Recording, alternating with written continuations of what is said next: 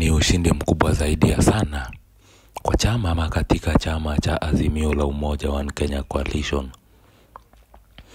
Wawili unaowaona ni Raila Amolo Odinga na Uhuru Muigai Kenyatta.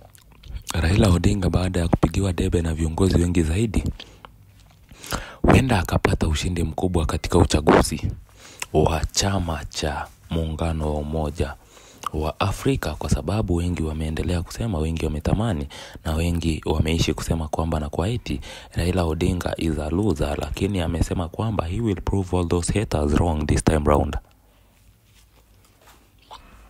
Rais Ruto alisema kwamba kura yake ni yake Raila Odinga, kwa hivyo ana kura moja. Rais wa Tanzania pia, rais wa Uganda, rais wa Ethiopia na marais wengi zaidi wameweza kuelezea nia yao ya kuweza kumuunga mkono kinara huyu Raila Odinga katika Africa Union Chairmanship bid.